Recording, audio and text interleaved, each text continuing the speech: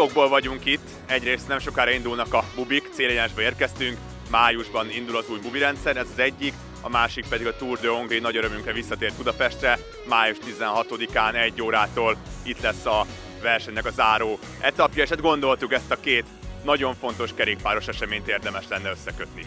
A Tour de Hongrie mezőnye idén is nagyon változatos szakaszokon megy végig.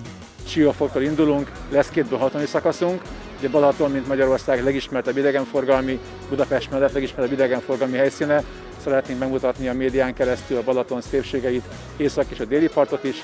Lesz egy szakaszunk utána a Tatára, majd a Kékestetői nap, Valasagyarmatról, és a utolsó nap pedig a budapesti szakasz lesz. Hát 5 nap, összesen 790 kilométer.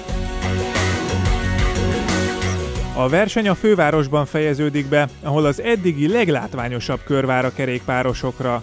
Május 16-án egy 8 km-es kör, ami elindul a Hősök teréről, és megkerüljük a stadiont, átmegyünk a Városligeten, egy nagyon szép útvonal, gyönyörű szép, olyan, mint a Sanzelizé a vége, ugye az Andrási úton, megérkezünk a Hősök teréhez, igyekszünk ezeket a képeket most itt megmutatni.